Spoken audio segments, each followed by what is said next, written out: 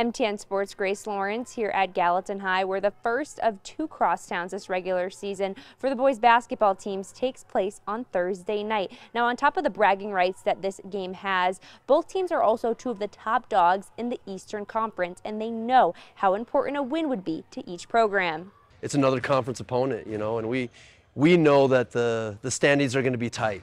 And so any win that you can take in our conference is going to be valuable come postseason, you know, going into the divisional tournament with hopefully a higher seed than we've ever had. That's, that's the goal.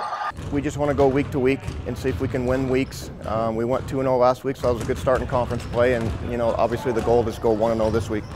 Both teams understand that playing with their own pace is going to be key on Thursday night and could determine who will come out on top. I think just stay stay together and play our basketball. You know, they're a big physical team, but we just can't let them get us out of the game that we play.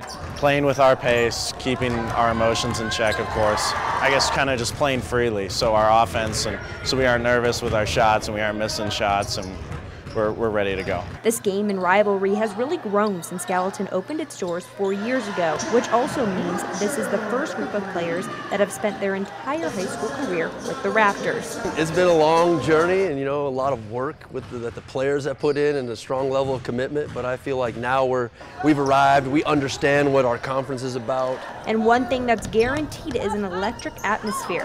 No matter the host school, the stands are going to be packed, which makes it one of the most exciting events of the year for the community?